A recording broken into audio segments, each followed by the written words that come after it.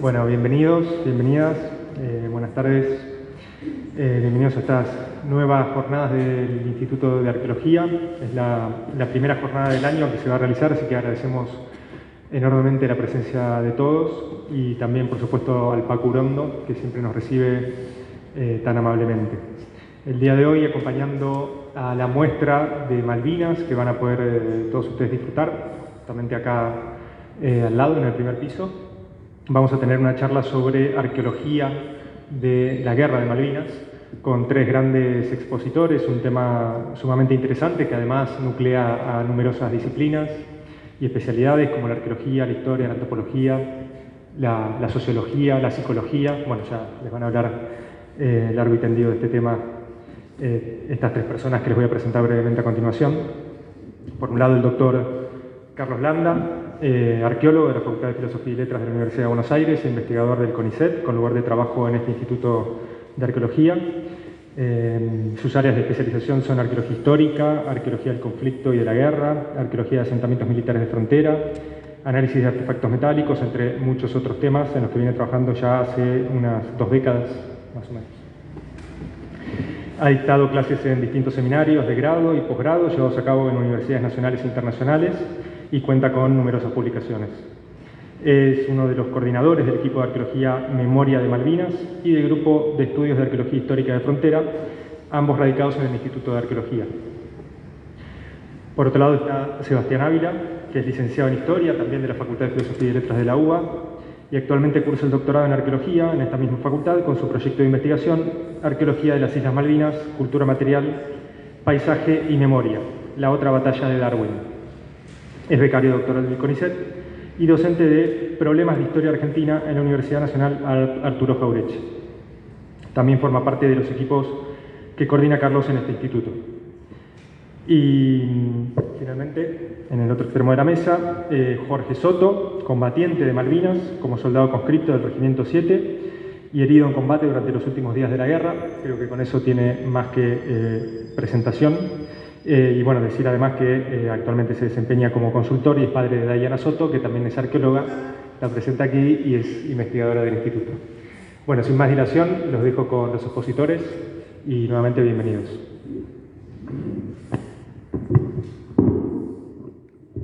Hola, bueno, la verdad, bueno, gracias Nico por la presentación. Eh, la verdad es un, es un, placer estar acá, es, es como estar en casa con tantos colegas y con tantos amigos y como recién dijo Nico, eh, más de 20 años acá en el instituto, así que bueno, agradecemos también al, instituto, al, Pacurán, al Pacurondo y, y, a la Facultad de Filosofía y Letras. Y les venimos a contar un poco este proyecto eh, titulado, como dijo bien Nico, hacia una arqueología de la guerra de Malvinas. Para empezar, voy a empezar con lo que nosotros llamamos el, mito de origen o la génesis, una, suerte de coyunturas que llevaron acá, que posibilitaron el desarrollo de los varios frentes o aristas que tiene el proyecto. Eh, hacia el inicio del 2020, enero, enero del 2020, eh, me llega un mail a mi casilla de un, historiador, lo tengo acá al lado, eh, que venía maravillado de un viaje a las Islas Malvinas y muy, movilizado y sorprendido por eh, esas distribuciones de objetos bélicos eh, en los montes y en los campos de batalla de la guerra de Malvinas. Y me hace una pregunta, que es acá, acá atrás, si se puede realizar una arqueología de, campo, de, la guerra de Malvinas.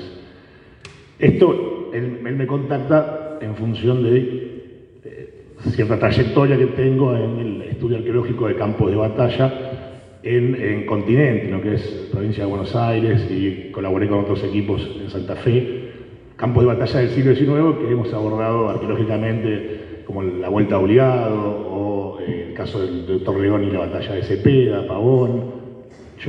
Yo, dirigí el trabajo en los campos de la Verde, pero su pregunta eh, fue como una ola. Empecé a, a funcionar los engranajes o, los monitos que tipean, la, que la máquina de escribir, porque digo, ¿qué le respondo? A lo que le respondí, bueno, hay, un conflicto, hay una continuidad de, reclamo en cuanto a la soberanía, bueno, algo que él ya sabía, obviamente. Y eh, pensé en Juan Leoni, un colega que fue miembro del instituto, que él sí también había viajado un año antes, ¿no? En el 2019, y había también vuelto movilizado y había escrito un artículo sobre las monumentalidades, que bueno, vamos a comentar un poquito. Así que entre los tres empezamos a, a pensar cómo ir hacia una arqueología de la guerra de Malvinas. Brevemente, esto lo, saben todos, no, me voy a poner a explicar eh, esas mamushkas que construimos nosotros de, cuando a campos o áreas disciplinares dentro de, de la arqueología. Perdón, perdón, son, muy sorpresas. Eh, nosotros nos desenvolvemos dentro del campo disciplinar conocido como arqueología histórica.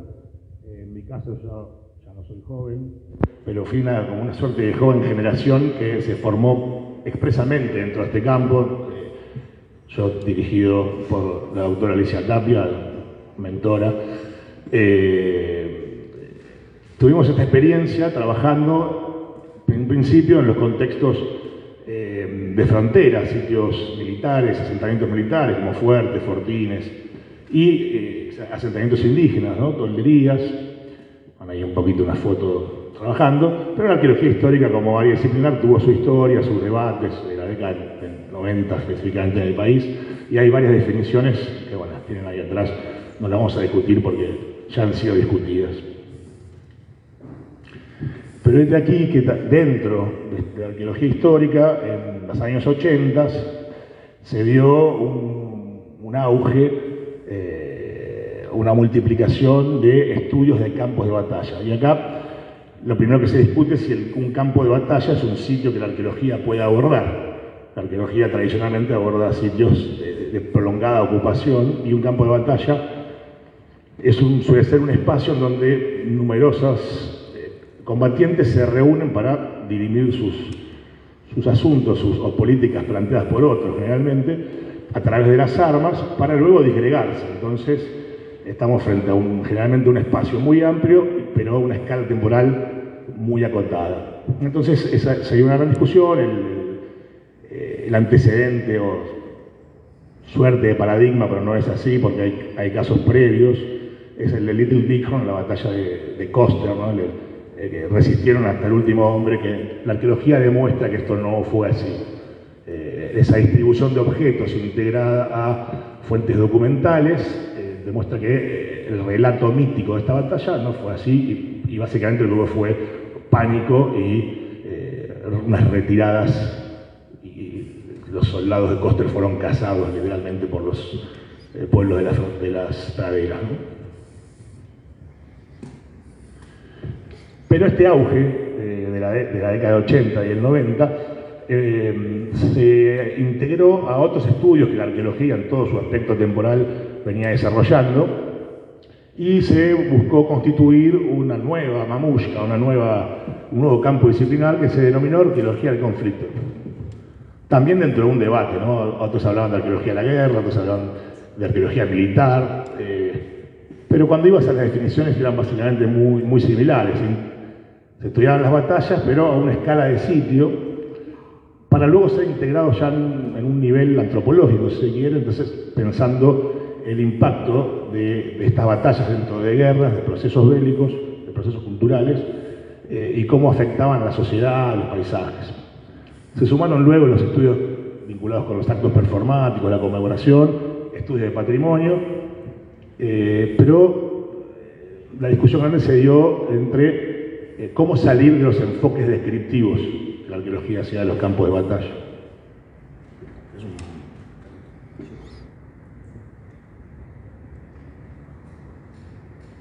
Pero bueno, volviendo a esta idea de, muñecas subsumidas, eh, hacia la década del 2000 empieza la arqueología, o se anima la arqueología y a tiempos más recientes, y comienza a estudiarse así, desde un enfoque más holístico o interdisciplinario, conflictos modernos de gran escala. Sobre todo eh, al centenario de la Primera Guerra Mundial ya había vastos y varios trabajos en torno a, los distintos frentes que tuvo la guerra. Eh, se me viene en la cabeza autores como Nicolás Sandas. Eh, pero no solamente desde, desde el análisis arqueológico de la distribución de material producto de esa batalla, sino también la vida cotidiana del soldado, los estudios de la cultura material. Entonces, se sale de este mero análisis de sitio para ir hacia el proceso. Eh, luego le, tocó el, le tocó el turno a la, a la, Segunda Guerra Mundial, un poquito también va en función de, iba, o fue en función de la desaparición física de los veteranos de esta guerra. Había una suerte de, y dentro también de, de esta, de, este auge por la memoria que se dio en estas, en estas décadas. En España, los estudios de la guerra civil, muy controversiales, aún controversiales, eh, los estudios de González Ruibal, por ejemplo, y la Guerra Fría. Pero bueno, el, hecho que nosotros nos atañe, la Guerra de Malvinas, eh, tuve una intervención arqueológica muy limitada por el equipo de eh, Tony Pollard, quien es un referente de la arqueología del conflicto desde sus inicios, de hecho, de la Universidad de Glasgow, tiene una maestría abocada a este tema, tiene una publicación específica sobre estos temas y es una persona que tiene muchos recursos y ha estado básicamente donde el Imperio Británico hizo algunas de las suyas, ahí está Tony Pollard eh, trabajando. Eh, es algo impresionante, trabajó con los Zulúes, Primera Guerra Mundial, en Mongolia, bueno, también estuvo en Malvinas hace muy poquito. Algo que él ha intentado desde más de una década, y de hecho eh, debo decir, a mí, me invitó a participar de sus proyectos que fueron truncos, no los pudo hacer hasta el año 2022. Cuestión que sacó para el 40 aniversario un libro, un libro eh, que se llama Falkland War Mapping Project, que tal vez un tanto apresurado el libro, podemos ya decir, pero que busca hacer este enfoque holístico de la guerra, no meramente arqueológico, sino que eh, a, las tareas arqueológicas conocidas como ¿no? Eh, prospecciones superficiales, mapeos, eh, de puntos, etc., eh, introduce la cuestión vinculada con la salud mental de los veteranos y la práctica arqueológica, el arte, bueno, otras cuestiones más. Y él ha hecho una pequeña intervención de dos semanas en tres sectores del Monte London, perdón, del Monte Tumbledown, con una cierta metodología que vamos a desarrollar más adelante, pero un breve espacio de tiempo que es el que, poseen. Pero bueno, se realizó eh, vuelos de dron, desarrolló distintos tipos de modelos, georreferenció hallazgos superficiales, estructuras, rasgos, posiciones. Por ahí tenemos una foto de ellos trabajando en, la ladera del Monte Tumbledown, eh, enfocado a Williams, ¿no? Monte Williams. Bueno, hay unas fotos de material, hay una crema Nivea, unos, pomos, unos pomos de dentrífico de las tropas argentinas. Y eh, el material, los, materiales en las islas no pueden ser, manipulados ni trabajados por cuando se de material bélico, pero se ve que también eh, pudo eh, registrar y llevarse otro tipo de materiales, como por ejemplo vemos acá un fragmento de vitrio que ellos, al ver este, sus eh, su impronta, sus marcas, sus retoques, podríamos llamar, eh, infirieron que los soldados argentinos fabricaban instrumentos vitrios para hacer actividades cotidianas. Algo demasiado apresurado y desconocen los procesos tafonómicos que puede sufrir el vidrio y la bibliografía previa que existe, por ejemplo, estudios de Donald Jackson en Chile, estudios en, sitios de frontera como el Fortín eh, Miñana, desarrollado por Mariano Ramos y, Facundo Gómez Romero. bueno, eh, Pollard tiene un imaginario colonial de, las tropas argentinas que, no, la, materialidad no lo puede superar. Él impone ese imaginario sobre la materialidad. Bueno, buenas tardes. Un poco lo que venía comentando Carlos de esta experiencia en Tumbledown, que es relativamente reciente, se da esta experiencia en el marco de, otras investigaciones arqueológicas, tanto en las islas como en el resto del Atlántico Sur, sector antártico e islas ¿no? del Atlántico Sur. Acá un poco las resumimos en este mapa. En el caso de las islas hay, ahora después lo vamos a, replicar, pero hay trabajo sobre todo de los asentamientos, primeros asentamientos de lo que fue la Falklands Island Company, una compañía que se instaló en las islas a partir de la segunda mitad del, siglo XIX.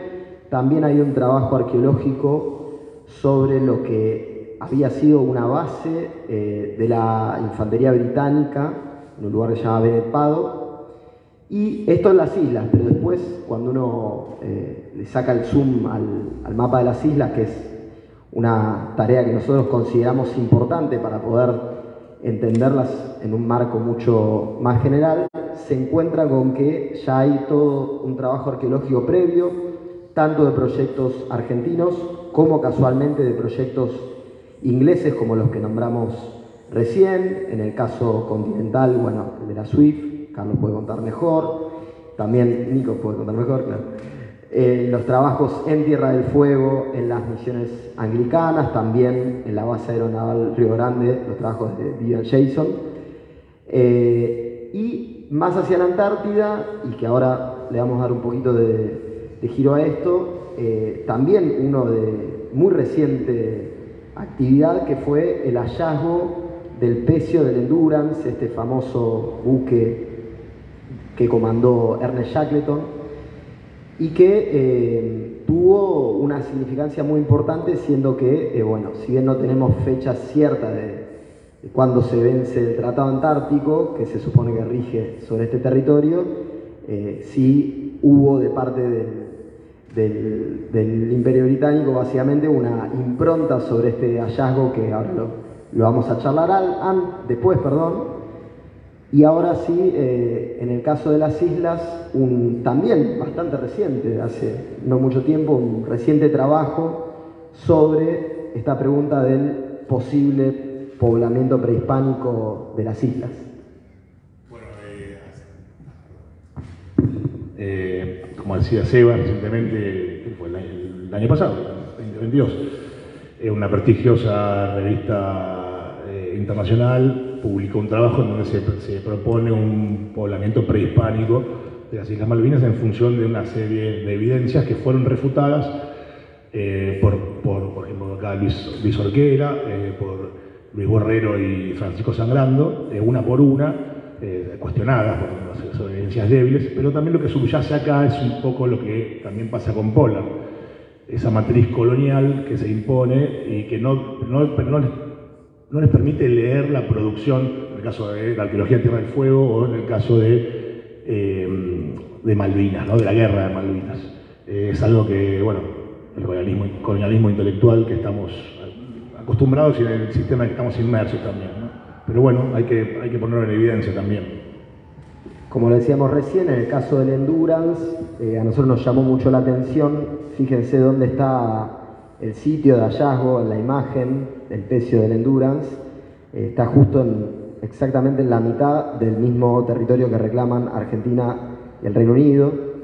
Eh, y no solamente esto, sino que cuando es hallado el pecio, se lo declara eh, sitio patrimonial. y no es la primera vez que lo hace Gran Bretaña en el sector antártico. Tiene, por ejemplo, una de sus bases que funciona como museo y que básicamente funciona como un museo que busca contarle a los turistas por qué la, Antártida es británica. Entonces, aparece acá la cuestión del patrimonio como una posible clave geopolítica. Bueno, en nuestro caso, como contaba Carlos al comienzo, cuando yo le llevé esta inquietud y él me, me comentó esto, ¿no? que lo habían invitado dos veces a participar de estos proyectos arqueológicos con Tony Pollard y que en ambos casos su presencia había sido rechazada por ser argentino y además el propio Pollard no había podido llevar adelante sus investigaciones, comenzamos a pensar tanto con Carlos como con Juan Leoni por qué otra vía podíamos eh, avanzar en el estudio al menos de la cultura material referida a la guerra de Malvinas. Piensen ustedes que estamos hablando de mitad de 2020, o sea, estábamos todos encerrados en nuestras casas. Eh, de hecho, las charlas eran por vía de, red, de web, ¿no? Eh, todos, estos implementos que fuimos aprendiendo con el tiempo. Y uno, una de las vías que se nos ocurrió, siendo que ya había cierta posibilidad de, con ciertas normas de acercamiento, encontrarse con, con una otra persona, se nos ocurrió empezar a, convocar a los veteranos de Malvinas y entrevistarlos, pero ya no en pos simplemente de su experiencia, en este, entrevistas que se vienen dando de estos 41 años, que uno las puede encontrar hoy en las redes sociales por todos lados, que tienen más que ver con la referencia a la experiencia del veterano en sí, se nos ocurrió empezar a, plantear un tipo de, de entrevista semiestructurada que se centrase en los objetos y a través de los objetos en las memorias y experiencias de los veteranos. Para ello recuperamos un poco algunas de estas corrientes que figuran en esta pantalla, que tiene que ver, bueno, con esta línea de la vida social de las cosas, de estos autores como Apaduray, Kopitov, Shanks.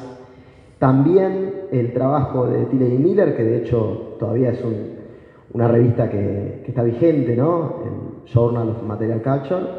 Y otros autores que habían tratado este tema de la memoria a través de los objetos o los objetos como disparadores de memoria y en particular una línea bastante reciente de estudios que ha desarrollado, han desarrollado diferentes investigadores, eh, sobre todo en Europa, pero también en Estados Unidos, y que tiene que ver con una metodología muy similar a esta que yo venía contando de entrevistar a los veteranos y poder eh, hacerles preguntas acerca de sus experiencias a través de los objetos. En nuestra experiencia, eh, hasta este momento llevamos realizadas unas 70 entrevistas que buscamos que, abarquen justamente un, muestreo bien amplio, ¿sí? desde un principio, cuando comenzamos a, contactar a los veteranos, eh, tuvimos esta impronta de que justamente a través de la cultura material y de estas memorias, pudiéramos abarcar la mayor cantidad de fuerzas que estuvieron en la guerra, rangos, ubicaciones, etc. Y nos fuimos encontrando con, eh, como decía Carlos, ¿no? Los veteranos sobrevivientes de la guerra y sus objetos también sobrevivientes de estas guerras y las relaciones que se establecían entre las personas, los objetos y estas memorias. Fueron apareciendo categorías que en un principio quizás no las teníamos tan claras, pero luego se fueron desarrollando, como esto de la reutilización y creación de nuevos objetos, eh, con diferentes eh, problemáticas logísticas de cada unidad en las islas y cómo los sujetos fueron recreando nuevos objetos. Y también nos encontramos con un poco para nosotros la sorpresa de cómo los objetos lograban descentrar ciertas narrativas que ya estaban un poco establecidas y creo que hoy a 41 años más o menos hay cosas que uno ya las ha escuchado muchas veces sobre Malvinas, cómo los objetos podían tejer nuevas narrativas y descentrar también los relatos que, que a veces, bueno, quedan establecidos de una manera y son repetidos, ¿no? A su vez, nos parecía interesante poder observar cómo a través de los objetos aparecían estas experiencias distintas y, siempre con un rasgo particular sobre estas características del mando y la logística que también lo vamos a recuperar un poco más adelante. Pero como justamente en este encuentro tenemos eh, esta particularidad de que tenemos a Jorge con nosotros, que Jorge además de además de haber sido entrevistado, o sea, de haber participado en este proyecto a través de, la, de su testimonio y de, los objetos que, bueno, ahora seguramente va a contar que tiene referidos a su experiencia en Malvinas. Además de ello, eh, Jorge formó parte, sí, y lo vamos a contar un poco más adelante, de otras aristas de este proyecto, así que Jorge te invitamos, si querés, contar un poco cómo fue tu experiencia, en principio con, con la entrevista, o las o en tu caso te entrevistamos dos veces. Hola, buenas, buenas tardes. Eh, bueno, primero agradecer a, Carlos y a Sebastián por esta oportunidad eh, y por, el proyecto en sí, que creo que desde mi perspectiva siempre todo lo que se haga por Malvinas, por la memoria, eh, para mí. Y perdón. este, y bueno, con la entrevista sí, me tuvo que entrevistar dos veces porque no alcanzó. La primera fue cuatro horas y después hubo una segunda en el centro de veteranos. Eh, un poco lo que él planteaba era los objetos que yo traje de Malvinas. Te dije que te iba a romper. Hablando de los objetos,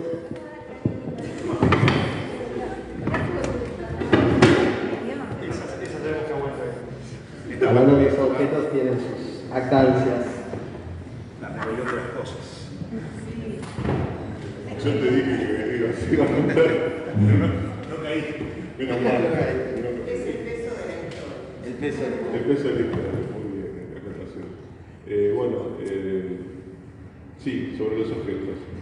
Objetos que traje de Malvinas o que llevé y tra- traje, era lo que Sebastián y Carlos me planteaban, pero bueno, eh, lo que llevé no, no traje nada de vuelta porque yo fui herido y bueno, me vine inconsciente a Comodoro Rivadavia, entonces no tenía, no tenía nada, ni siquiera mi, uniforme, o sea, yo no tenía nada, de, único, el único objeto que traje fue mi persona, ¿no? Eh, si se puede llamar. Y después dos recuerdos que tengo dos esquirlas de artillería dentro de mi cabeza, que me quedaron también de recuerdo interno.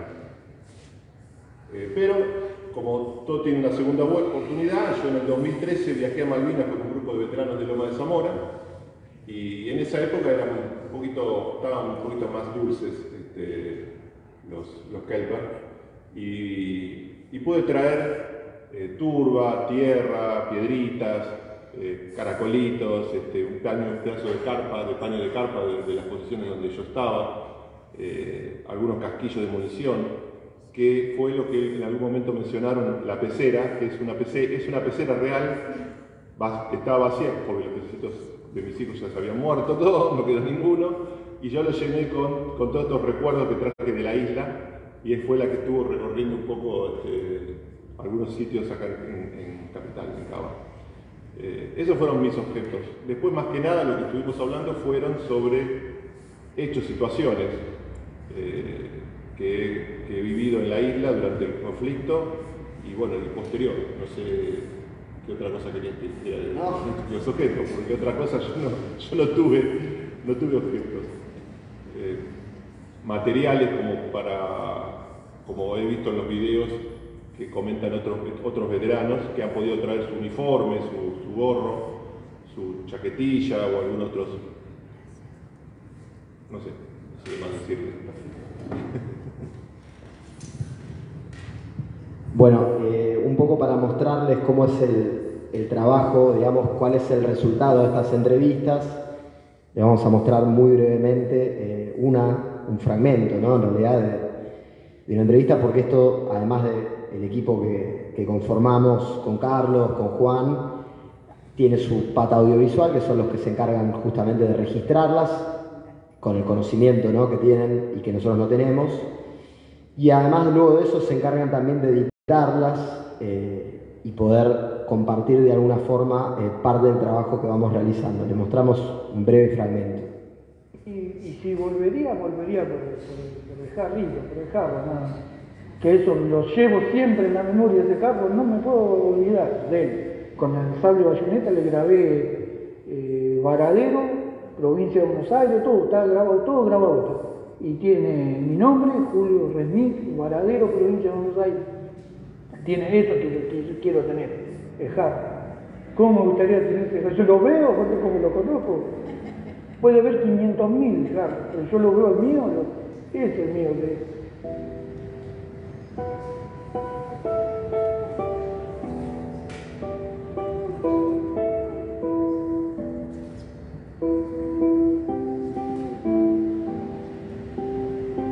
Es la tarjeta de identificación naval, la TIN. Esta estuvo en combate conmigo, estuvo lo- los días que tuvimos que estar allá, estuvo conmigo.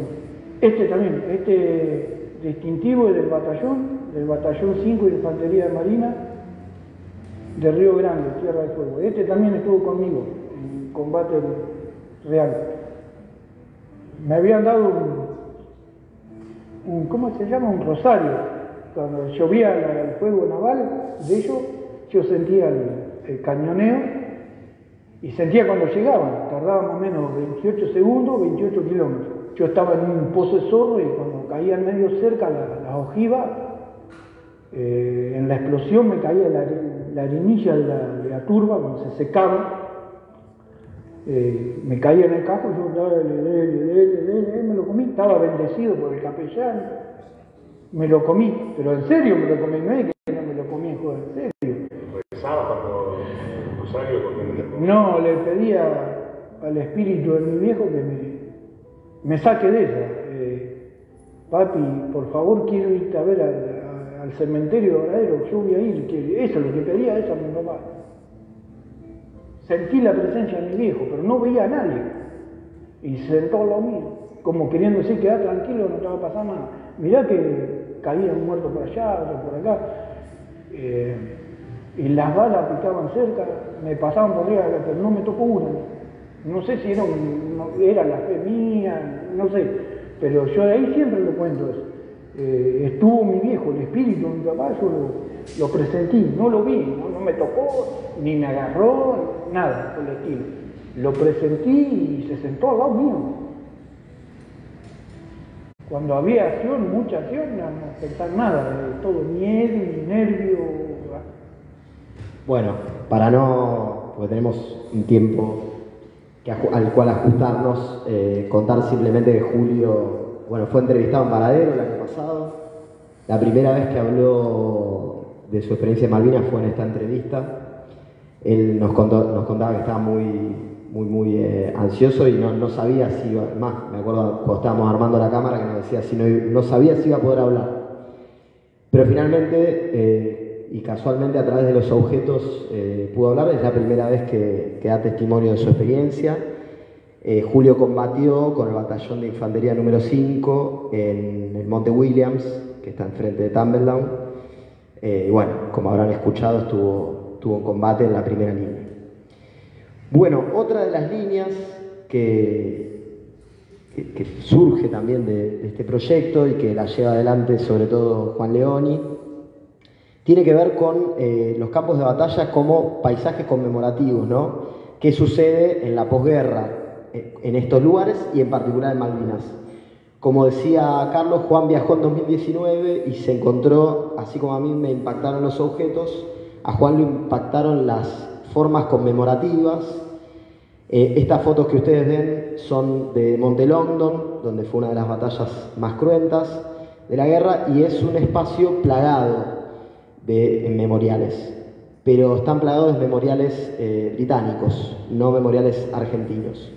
Y allí se dan una serie de prácticas, como dice la filmina, ¿no? retornos, peregrinajes, visitas, performance de todo tipo, obviamente aprobadas y legales, pero lo que a Juan más le llamó la atención fueron eh, el contraste, el fuerte contraste con las prácticas conmemorativas argentinas, eh, las cuales en términos materiales están completamente prohibidas, es decir, no se puede dejar una placa, no se puede dejar un recordatorio.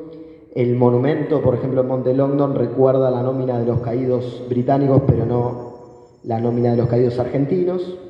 Y de hecho, las veces que se ha dejado algún tipo de placa o algo, ya los isleños tienen un poco la costumbre de ir después de que van los veteranos y retirar todo lo que dejan.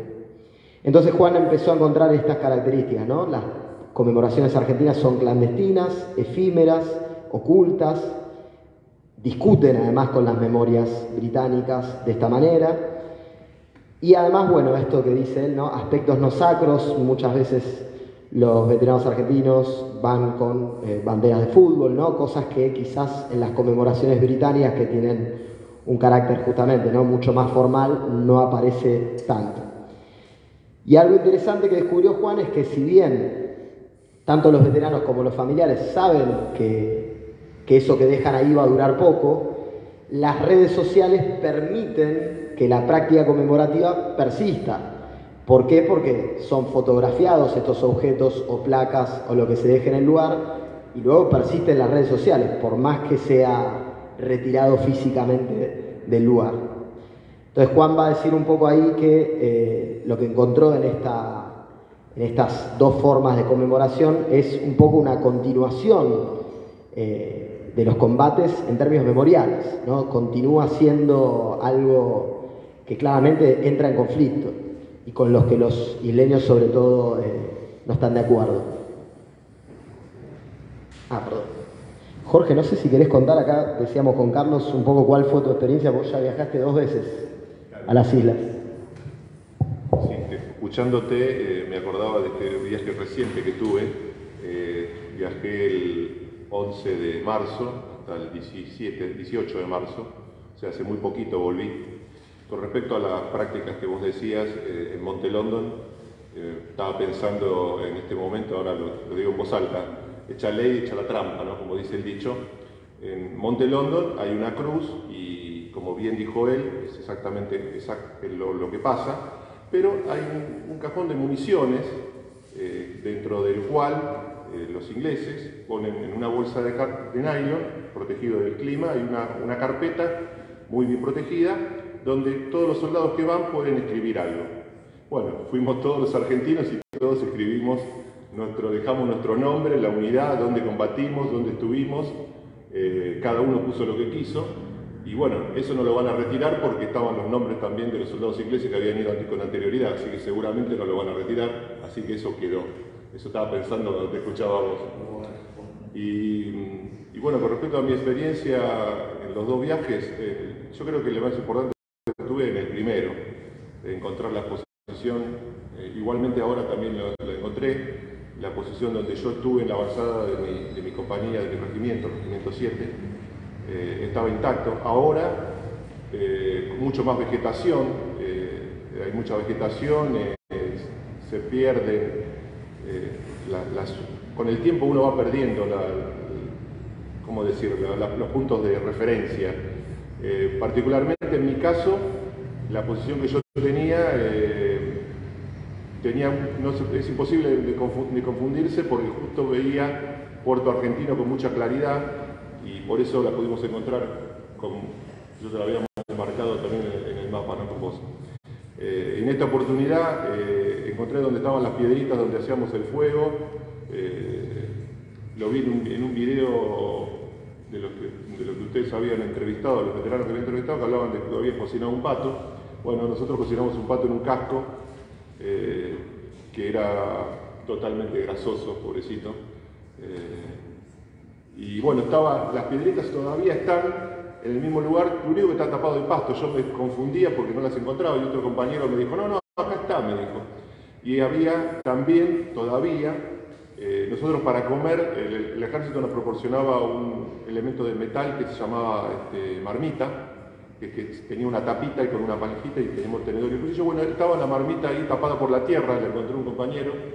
Este, yo creo que se emocionaba más mi compañero que yo, en este momento, en este viaje, porque encontraba con lo que yo había comido, me decía él, ¿no? Y yo le digo, bueno, no sé si es la que yo había, la mía o la del otro, pero este, eso fue mi, experiencia, por lo menos más importante en lo que respecta a eh, lo personal. Y ahora eh, también una cosa que experiencié fue volver a pararme en la misma piedra donde estábamos el,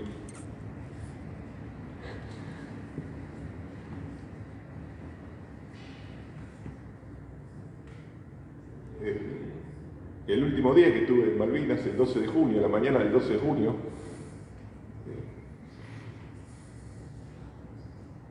bueno, disculpen. mi regimiento tuvo el, batismo de fuego el 11 de junio, un viernes, sobre el final de la guerra, en Monte London, eh, donde, como dijo eh, Seba, fue la batalla, una de las batallas más cruentas de la guerra.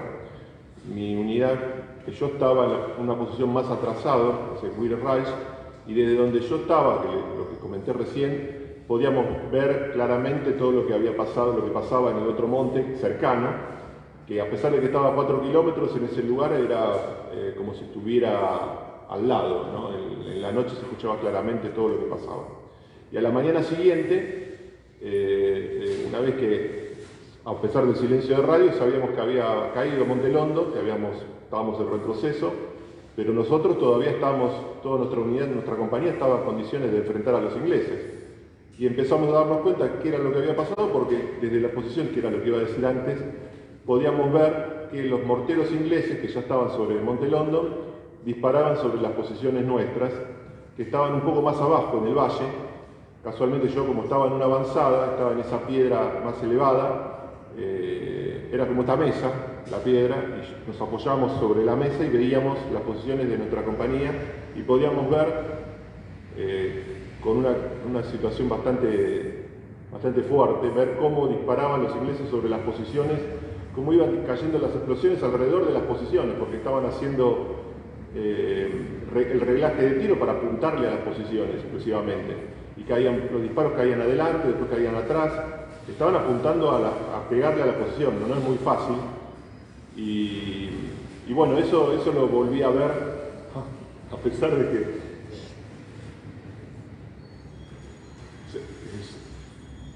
habían pasado ya 41 años. Este, es algo que siempre digo cuando damos, doy las charlas en las escuelas, eh, les comento a la gente que, a los mayores también, que no solamente los veteranos cuando dan una charla cuentan lo que pasó, lo que vivieron, sino que lo reviven. Que parece lo mismo, pero no es lo mismo. Por eso me emocionó y le hablaba, le decía a una periodista hace un rato que cuento 20 veces lo mismo, más, más veces, pero a veces nunca me emociono y, otro, y otros días, en una circunstancia diferente, eh, me pasa esta emoción que como me han dicho me indica que, estás vivo, me dijeron por ahí, ¿no? Este, así que, bueno, Creo que por ahí te paso la palabra. A ver, habla un poco vos, Carlos.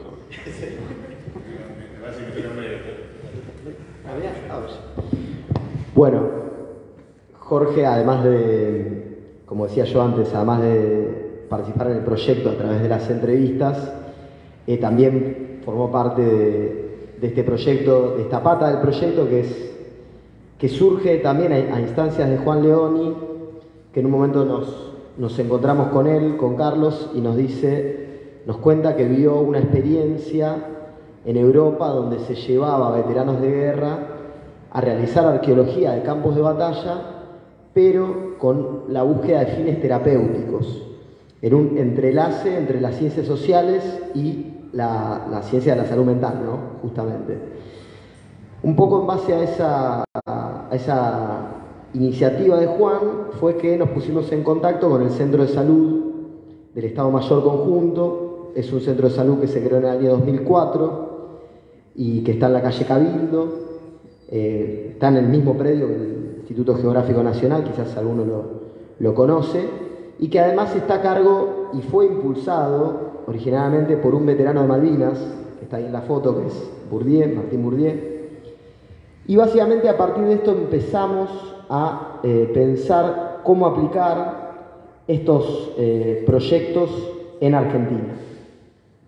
Ha sido yo, Bueno, como decía recién, eh, estos proyectos se dan en Europa y en Estados Unidos fundamentalmente, por ejemplo, en el campo de batalla de lo que fue Waterloo, la batalla más que conocida, pero también en Estados Unidos, y lo que hacen es justamente esto, llevar veteranos y realizar tareas arqueológicas verificando con personal de salud mental qué alcance terapéutico pueden tener estas prácticas para el estrés postraumático de guerra, que es, eh, bueno, tipo de, estrés muy, muy particular. Esto está en estudio, pero un poco a partir del impulso de Juan y también de empezar a leer algunos papers que refieren a este trabajo, se nos ocurrió traerlo a Argentina. Bueno, ahora sí a mí. Em, mientras hablaba Sebas pensaba en estos proyectos eh, anglosajones y, cómo ellos lo llevan a, a cabo con eh, increíbles fondos, con muchos recursos, eh, y cómo nosotros hicimos nuestra, nuestra experiencia modesta, pero la única en Latinoamérica, le vamos a contar, lo va a contar Jorge. Y que bueno, nosotros también necesitamos institucionalizar el proyecto, así que si alguno conoce alguna vía de financiamiento, estamos más que agradecidos. Eh, bueno, las preguntas que se hace dentro de este proyecto y dentro de, esta arqueología vinculada al, bienestar, a la salud mental, es por qué relación hay entre veteranos de guerra y, la arqueología, por qué, para qué vamos a hacer. Y charlando con, con Martín Bourdieu, al que una que otra vez le, dijimos Pierre, eh, él nos decía ¿no? el tema de eh, eh, a qué sitio arqueológico podemos invitar a hacer prácticas a veteranos de guerra. Y nos dijo, campo de batalla primero y asentamientos militares como fuertes, fortines, campamentos después. Porque el campo de batalla es una, es una representación lo que se estima es una suerte de relacionamiento histórico a través del tiempo, una empatía con el sujeto histórico que combatió en otras circunstancias, en otro tiempo, pero que de alguna forma los hermana eh, la angustia, el miedo, la valentía, el coraje, todo, el, amplio espectro de, sensaciones que un humano puede experimentar en un, hecho tan, tan terrible y tan traumático como puede ser una batalla. La arqueología también tiene algo, la arqueología tiene, me siento que estoy hablando, yo estoy hablando con arqueólogos, pero bueno, no voy a contar, son perogrulladas, pero bueno, la arqueología tiene eh, algo, tiene varias cosas que a mí me encantan. Primero es el trabajo en equipo, trabajo real en equipo. si no somos muchos no podemos hacer las cosas y tenemos que hacerlas organizadamente. Y segundo es que tenemos foco en una misión. En un momento en el campo tenemos foco en una misión y tenemos objetivos a cumplir. Podemos cumplirlos, si lo logramos todo es buenísimo. Si no, nos replegamos, reanalizamos y encaramos nuevamente. no nos detenemos y retrocedemos para avanzar más fuerte. Es, un espíritu que tiene la arqueología que a mí me gusta mucho. Eh, bueno, y es una actividad al aire libre el trabajo de campo arqueológico con todo lo que eso conlleva. Hay días maravillosos, hay días que son bravos, ¿no? días que llueve, hace frío, pero bueno, hay que estar en campo. El placer de hallazgo no, es, universal, ¿no? si no, no hubiera tantos saqueadores, lo que tenemos problemas. Y después el trabajo de campo tiene esta cuestión eh, de socialización constante. Estamos, convivimos 24 por 24 por 24 por 24, nos tenemos que levantar, tenemos que hacer el desayuno, charlamos, tenemos que preparar el material para ir al campo, trabajamos en campo, se arma una comida relativamente frugal, a veces son abundantes, eh, al mediodía, a la noche comida más, más intensa, más charla, sobremesas y así sucesivamente, que son espacios de, de expresión. La gente habla y no habla solamente de arqueología, habla también de sus problemas, no, no necesariamente los veteranos, sino todos nosotros. Eh, entonces estos espacios de reflexión pueden tener potenciales beneficios. Bueno, acá un poco me adelanté, me spoileé como dicen ahora, los tipos de sitio, pero conformamos el equipo de trabajo para con los veteranos en, eh, en dos, dos, grupos. El grupo que lidera el doctor Leoni de la Universidad Nacional de Rosario, que trabaja en eh, estos campos de batalla eh, entre, las, entre Buenos Aires, la provincia rebelde, con la Confederación Argentina, Cepeda y Pavón, también algunos campamentos vinculados a este conflicto, y el equipo nuestro, que trabajamos con, con Manuel Montanari, con Jimena Doval, que también trabajamos en campos de batalla, como el caso de La Verde, o ahora estamos empezando el trabajo de la campo de batalla de San Carlos, y en distintos fuertes y fortines de las fronteras con los pueblos indígenas. Que bueno, acá, ¿no? a uno de los ejemplos, eh, Fuerte Cruz de Guerra, trabajando con Facundo Gómez Romero, Pero bueno, esta es nuestra colaboración el equipo, el equipo es realmente interdisciplinario y se conforma con profesionales de la salud mental con los cuales tuvimos que dialogar y, tratar de establecer un diálogo en común. Esto nos pasó a todos nosotros cuando nos relacionamos con gente de otras disciplinas.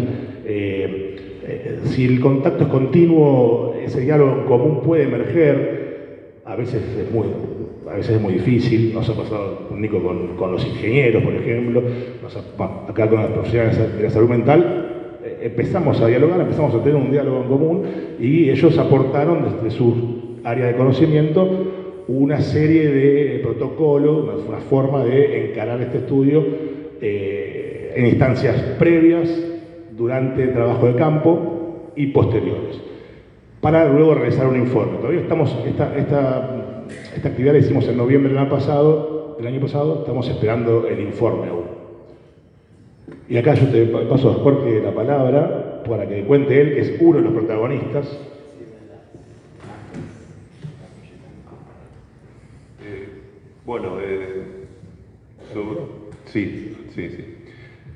Eh, bueno, la experiencia fue muy enriquecedora porque, como ya había comentado, al estar en un campo de batalla, aunque haya sido hace más de 100 años, en el caso particular eh, que hablan los muchachos, es la batalla de Pavón, al sur de Santa Fe, en la localidad de Rueda, si no me equivoco, ¿no? Eh, ah, bueno, eso nos, nos, perdimos en el camino por eso.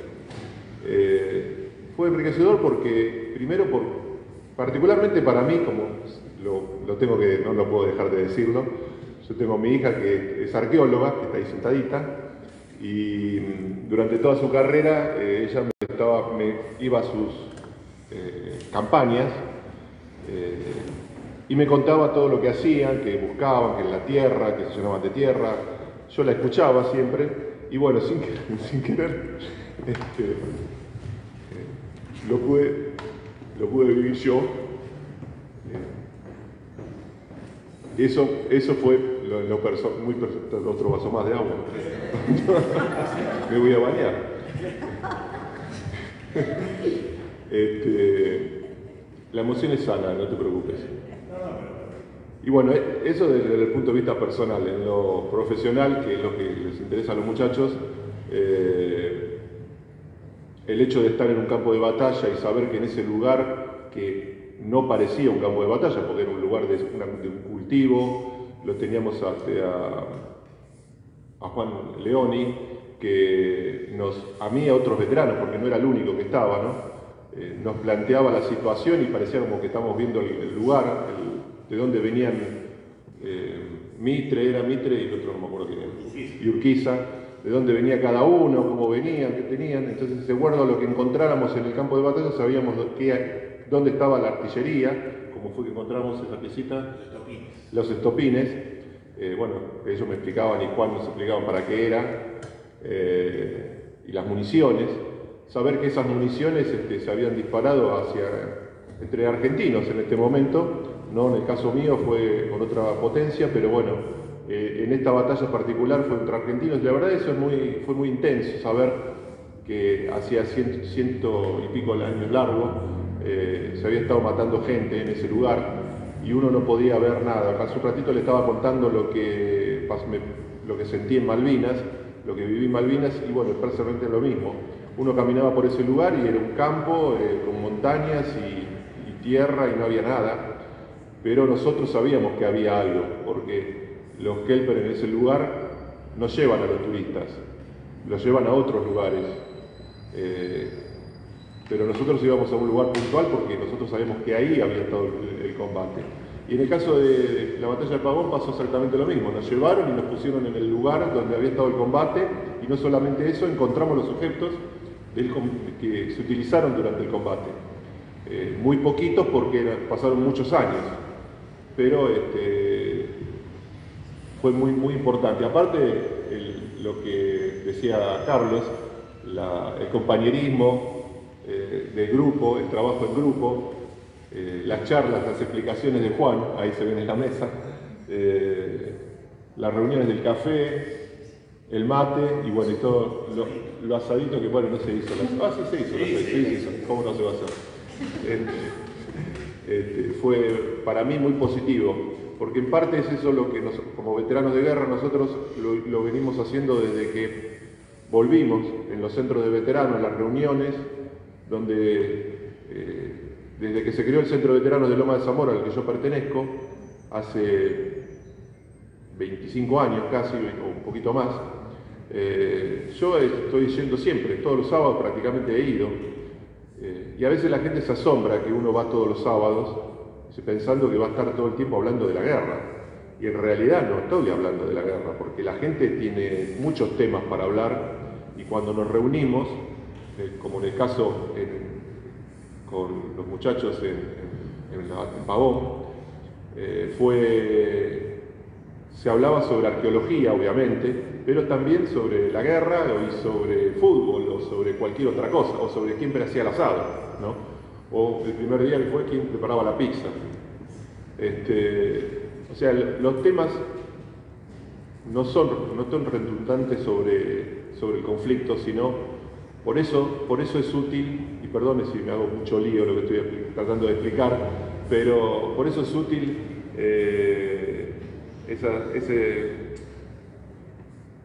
bueno, compartir lo, del proyecto de investigación, ahí está, el proyecto de investigación este, terapéutico eh, que, embarcaron, se embarcaron ellos y el centro de salud con el doctor Bourdieu, que creo que eso es muy positivo y creo que mejore y se pueda profundizar. Y los dejo ya porque ya hice el lío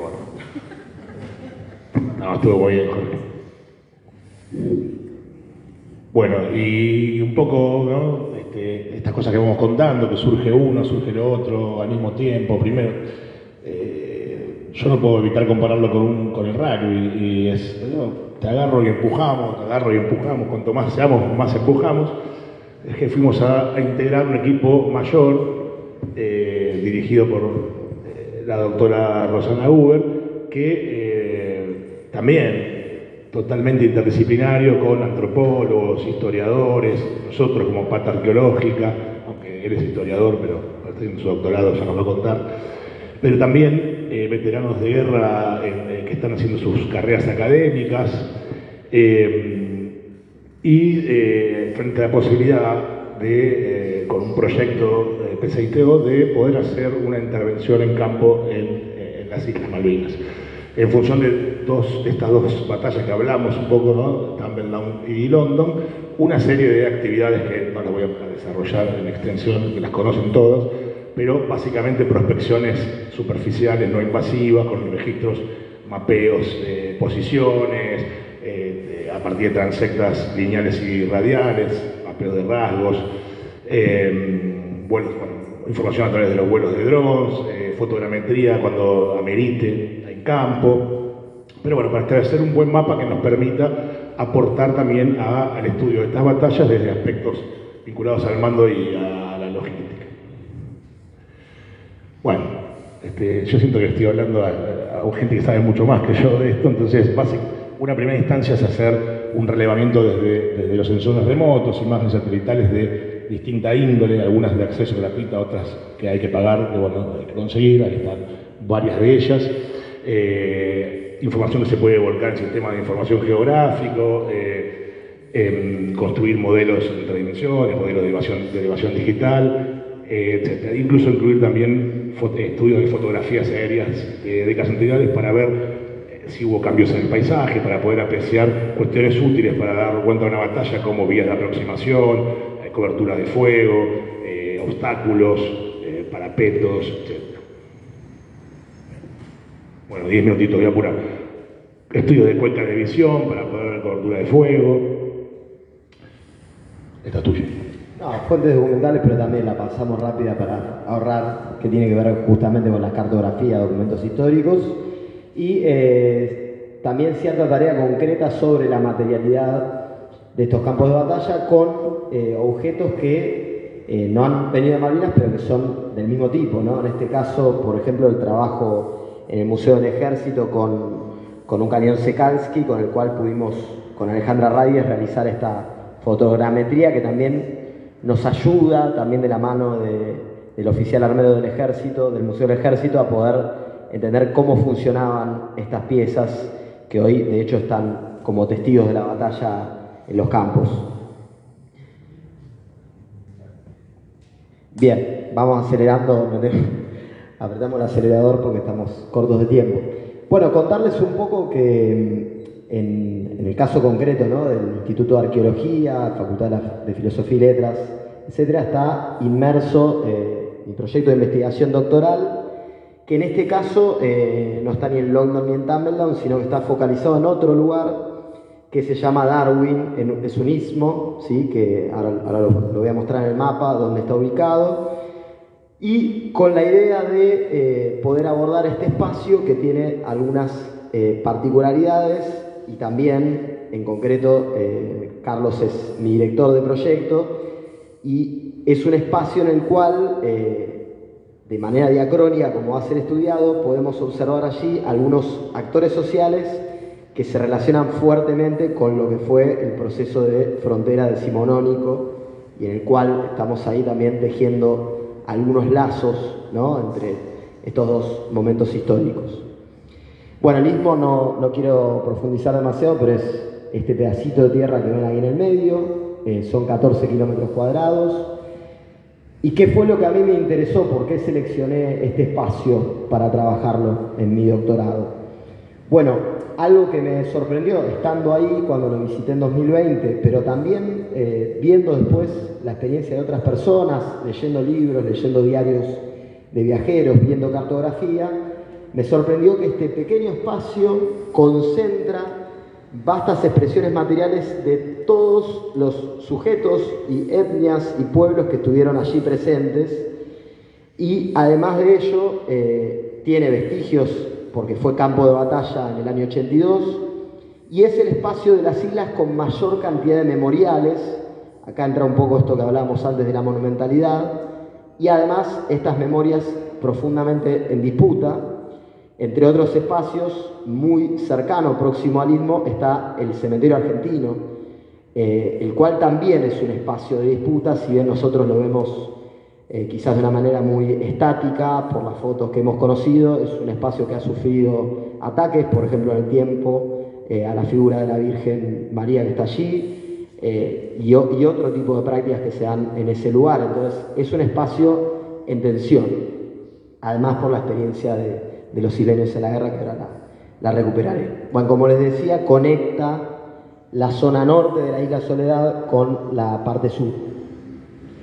¿Desde dónde pretendo abordar eh, este espacio? Bueno, las perspectivas teóricas que tomé son las de la arqueología del paisaje para ver en este análisis diacrónico cómo fue modificándose a lo largo del tiempo, pero también como estamos hablando de un campo de batalla, también la arqueología del conflicto, no solamente, en este caso, y esto es algo que, estoy incorporando recientemente, no solamente respecto a la guerra, sino también respecto a lo que pasó con, los gauchos que trabajaron allí durante mucho tiempo y que en un momento del análisis histórico pareciera como si los hubieran subido en un arca de Noé y se los hubieran llevado. Y estamos hablando no de pocas personas, sino de miles de personas. Esto está registrado en, los documentos de los barcos que llegaban allí a trabajarlos en esta zona, ¿no? de, explotación primero ganadera y luego ovina. Entonces, la idea es analizar en términos diacrónicos, desde los primeros asentamientos hasta la actualidad, los vestigios materiales, los artefactos, las estructuras, junto a los documentos, las cartografías, los testimonios, también los topónimos, que son muy interesantes porque los topónimos de esta zona en su mayoría son en castellano, se me viene ahora Rincón del Fuego, Boca House, bueno, hay una serie ¿Cómo? Ah, los pueblos, ahora llego, ahí, ahora llego, ahora llego. Y también tomando en cuenta que hay antecedentes arqueológicos. Trabajó allí Robert Philpott, un arqueólogo británico de la Universidad de Liverpool. Estuvo trabajando allí en estos asentamientos de la Falklands Island Company, esta compañía que les decía se instaló allí, allí justamente para hacer explotación de tipo vina. Eh, y tomando a la guerra del 82 como un acontecimiento claramente disruptivo en este paisaje. Bueno, acá algunos de los elementos que, que, van apareciendo, esta cohetera adaptada en el 82 a un tobogán, un cajón de verdura, de fruta, y eh, estos corrales que todavía persisten, corrales de piedra que, bueno, formados obviamente por, por los gauchos y luego utilizados. Corrales, exactamente, llamados todavía de hoy corrales por los propios británicos. Como les decía, hay antecedentes de investigaciones arqueológicas, tanto la de Philpott como el propio Tony Pollard hizo un mapeo sobre Darwin, no, todavía no publicó nada al respecto, pero es, ahí se forma, digamos, un momento muy interesante elegí esta foto en particular porque esta es la foto posterior a uno de los combates de la batalla de Darwin que se dio en un, en un lugar que se llama Boca House y donde una sección del Regimiento 8 eh, conformó sus posiciones casualmente con materiales que quedaban de restos de estos corrales, de estas, de estos, de estas, justamente de estas unidades productivas que fueron desarmadas para conformar, por ejemplo, acá en la foto se ve pero muy chiquito, el puesto de comando que los propios veteranos reconocen estaba formado justamente con maderas, con piedras de esta unidad productiva que fue desarmada. Ahí comienza a haber un cruce en estas materialidades. ¿Cuál va a ser la metodología? Bueno, trabajar primero en gabinete con todo esto que yo les decía previamente y luego llegar a campo. Estamos planificando unas dos campañas de 15 días cada una en la cual podamos acceder a realizar eh, trabajo, esto, ¿no? relevamiento por medio de, drones, de vans, eh, una prospección, tal como decía Carlos, de tipo no intrusiva y un mapeo detallado de lo que podamos encontrar y también de lo que nos, nos brinden estas imágenes satelitales previas. Y acá voy a lo que me decía Carlos recién, que en estas primeras aproximaciones yo comencé como becario de CONICET en este mes, o sea, estoy recién arrancando, si el tema lo vengo trabajando de antes, pero en estas primeras aproximaciones ya encontramos, en este mapa habría que hacerle zoom, pero hay allí un asentamiento que, cuyo nombre de nuevo remite a la frontera, es un asentamiento que fundó eh, esta gobernación de Bernet tan conocida y que se llamaba Rosas, el asentamiento. El dato es que este asentamiento no fue registrado en el trabajo de Robert Philpott, que la verdad es un trabajo más que interesante y sinceramente muy generoso con, los vestigios argentinos, porque la verdad que los, ha trabajado bastante bien, diría mucho mejor que Polar, me atrevo a decirlo. Eh, pero por ejemplo el asentamiento de este asentamiento Rosas, que estaba conformado por una serie de, viviendas y con un puerto llamado Puerto La Polancra, no lo registra en su trabajo eh, registra sí muchos otros corrales y otros sectores, este no lo registra y tampoco registra otro muy cercano a, lo que son los restos, los vestigios de Puerto Luis, que se llamaba casualmente Dorrego. ¿no? Fíjense que ahí empiezan a aparecer topónimos y nombres que, bueno, luego nos traen a, a, este polo de la frontera, o al menos de la frontera más decimonónica. Así que la idea es posteriormente realizar el procesamiento de datos, también junto al procesamiento de las entrevistas que pretendemos hacer no solamente a veteranos que estuvieron en el 82, sino también a isleños que hayan, que, es más, isleños que, vivan hoy allí ¿no? y que puedan dar, eh, dar justamente sus memorias sobre ese espacio, poder georreferenciar todos estos datos y en última instancia ver estas modificaciones en el paisaje de la, posguerra y las posibles relaciones de todo esto que venimos diciendo del comienzo, de esta política británica hacia el Atlántico Sur y la importancia que le dan ellos, no sé nosotros, pero ellos sí, sin duda, a el patrimonio y la materialidad como con un objetivo claramente geopolítico. Brevemente eh, dentro de, las actividades vinculadas con la transferencia, la divulgación, las clásicas con colegas en reuniones científicas o aquellas más informales en, colegios o en los lugares donde vamos a trabajar. Eh, desarrollamos un mapa, que llamamos MICA, Proyecto MICA, que es el mapa interactivo de conflictos armados, en donde eh, cada punto de este mapa, ahí se ve una nube de colores, cada punto representa un eh, enfrentamiento armado, eh, cada, color significa un tipo específico de enfrentamiento armado, por ejemplo, conflictos con los pueblos indígenas, conflictos por la guerra de independencia, conflictos civiles, eh, conflictos con, países, con, países extranjeros. pero es un mapa que está en su versión beta, pueden entrar ahí, después les pasemos el link. ningún punto es fehaciente, es original, es correcto para evitar saqueos, por supuesto. Eh, pero es un mapa que tiene la particularidad de ser participativo, colaborativo. El usuario puede ingresar fotografías, cualquier tipo de archivo, eh, archivos de audio, de video, fotos 3D, bueno, cualquier papers, artículos, libros en PDF. cada punto de este mapa, por ejemplo, no sé, el usuario que quiera puede poner contribuir con alguna foto de él del sitio, una, selfie, no sé, eso ya depende de, de los otros. ¿no?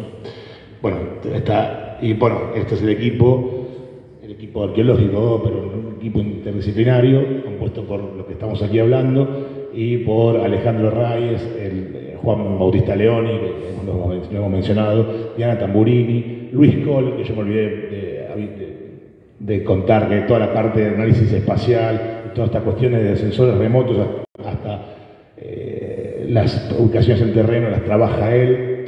Eh, y el, área comunicacional eh, por gente dedicada a esto como Tomás Morrison y Alejandro Navasola, que tienen vasta experiencia en documentales de National Geographic, Discovery Channel y el canal Encuentro en la serie que salimos nosotros.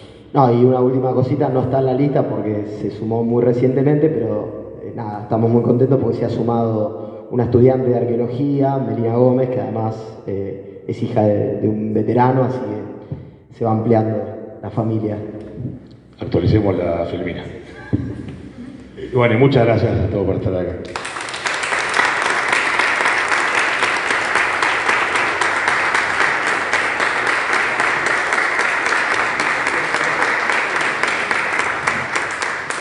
Aprovechamos, reitero lo que dijo Nico al principio, para invitarlos a que den una vuelta por, por la muestra que intitulamos Las cosas que perdieron y salvaron en el fuego, acá a cargo de la gente de Pacurondo en el instituto y bueno, las, los links de estas redes sociales, algo avanzamos del proyecto.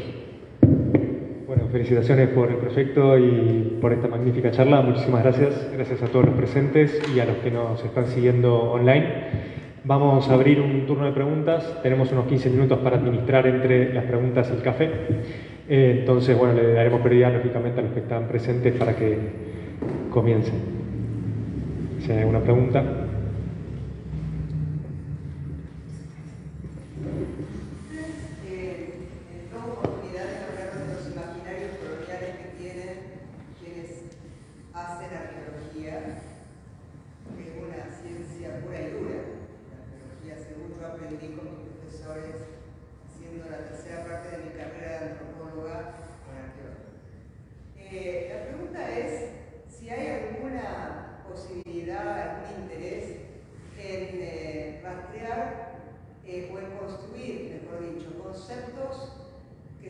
de nuestro imaginario. Es decir, de qué manera cuando nosotros estamos abrevando en fuentes teóricas norteñas, que es lo que venimos haciendo, porque así fue, ahora estamos con un conflicto internacional con el norte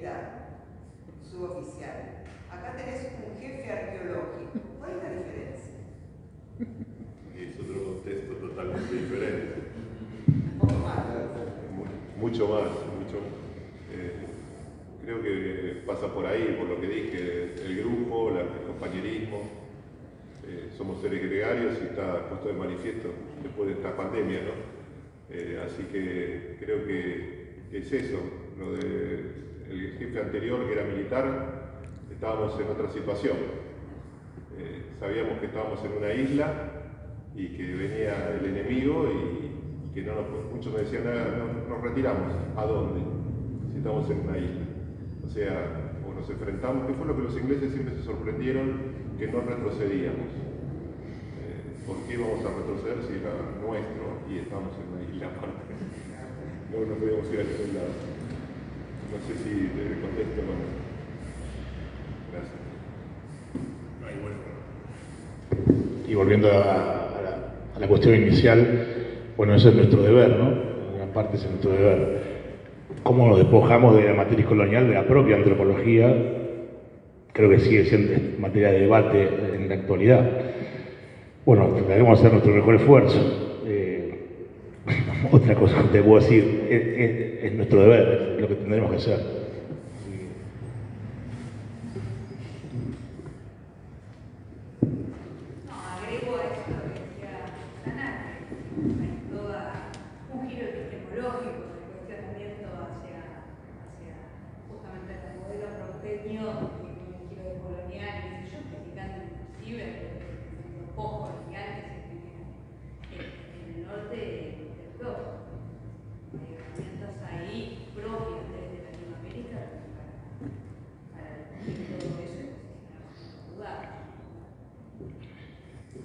volviendo a la matriz de Polar, eh, por lo menos nosotros no a ir con un preconcepto de que vamos a ver la cultura guaraní en un pozo de sol, que es algo que literalmente escribió sin haber ido, o antes de haber ido.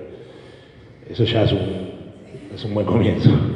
Y pensé, cuando Sebastián estaba hablando, eh, cuando mostró ese mapa que, vincula a Malvinas con la importancia geopolítica y, estratégica que tiene en relación con la Antártida, también pensaba en los sitios que trabajas vos.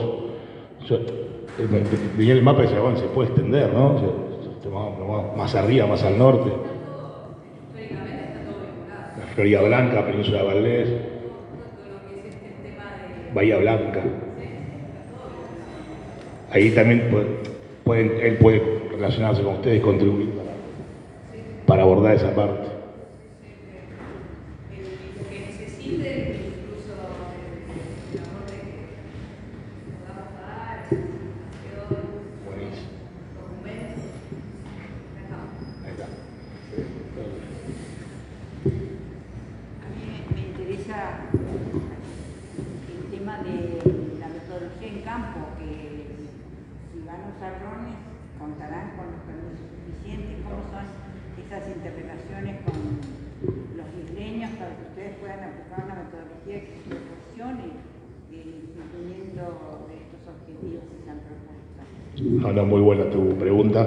Fue todo un tema que hemos trabajado, charlado con todos los miembros del equipo.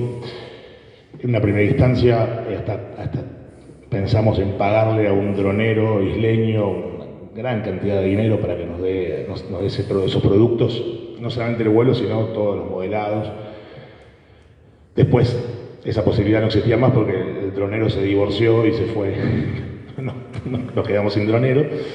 Eh, pero hace poquito justo Alejandra Reyes, que estaba, eh, está en la Universidad de Cádiz, está allá en Cádiz, yo estuvo con Nico un tiempo, eh, averiguó que no hay ningún impedimento para hacer vuelos de drones en Malvinas por parte de turistas. así que hasta ahora tenemos esa noticia, se puede, se puede llevar el dron a bordo de un avión, hay que tener las baterías separadas y no habría problema. El, si gran problema es el viento, ¿no? hay que considerar que los drones más pesados no vuelan a más de 40 nudos de viento, entonces, bueno, hay que escoger el día preciso para poder hacer esos, esos vuelos. Pero en una instancia se puede hacer y lo que es buenísimo y mucho más económico. Lamentablemente se nos terminó el tiempo, pero seguramente puedan continuar la charla de forma más distendida, aprovechando un café al final de la sala. Así que nuevamente agradecerles a todos, y a los expositores sobre todo, y felicitaciones.